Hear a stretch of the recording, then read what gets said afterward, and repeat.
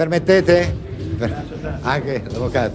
Ecco, dicono che Juventus-Milan è anche una sfida fra Agnelli e Berlusconi, direi. No, no, no, è una sfida fra tecnici e giocatori.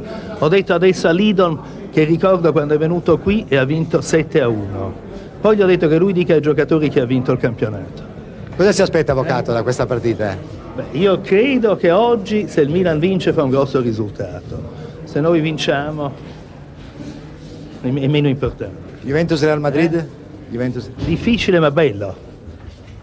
Presidente, eh, con- ecco, è casa dell'avvocato come hanno con la scritto. Roma che osserva, il signor Barilla, sponsor della Roma, è venuto ad osservarci. Vi vedo allegri, è molto bello questo. Ma è vero che lei ha promesso un premio doppio ai suoi giocatori? Nessun premio, abbiamo detto che i premi arriveranno se si piazzeranno in Europa. Continuiamo in questa direzione, non vediamo perché cambiare. Li ha trovati tranquilli, è stato negli spogliatoi. Tranquilli, caricati e decisi a dare un dispiacere all'avvocato.